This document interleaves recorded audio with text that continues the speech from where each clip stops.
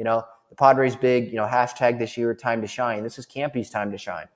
You have Luke Voit on the IL with the bicep soreness at least 10 days. So you would what I would do if I was Bob Melvin, if I was AJ Preller and the analytics people giving some info and recommendations to Bob Melvin. I know it's Bob Melvin's lineup, but what I would do is I would put Campy in there every day at DH. And you have Nola or Alfaro being the backup because it's Campusano, I talked about this yesterday.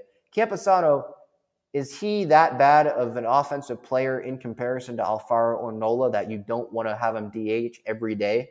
and you'd rather have Alfaro or Nola DH over Campusano? I would DH him every day because give him this chance. You know, he's one of you. It's like Gore. Like, give him the chance. Put him in the big league action. And if he doesn't do well, okay, then you can send him down. But what is the point of playing this waiting game now? It's not like you have Tatis as a DH option now, you know? It's not like you have David Ortiz coming in here and being a DH option.